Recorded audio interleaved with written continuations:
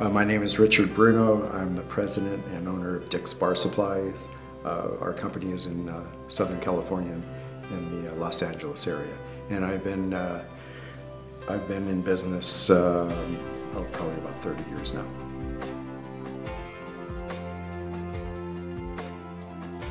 Uh, well, I actually came to Catapult um, not so much out of inspiration, it was more desperation.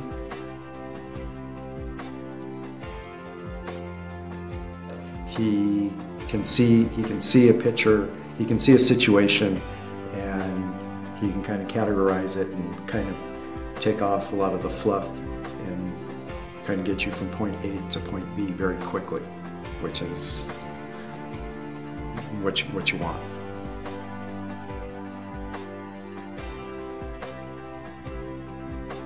When I first established my relationship with Brad, it was literally a nightmare.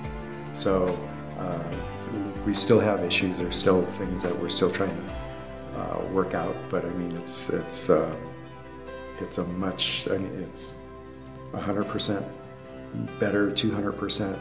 It's just it's it's a completely different situation now.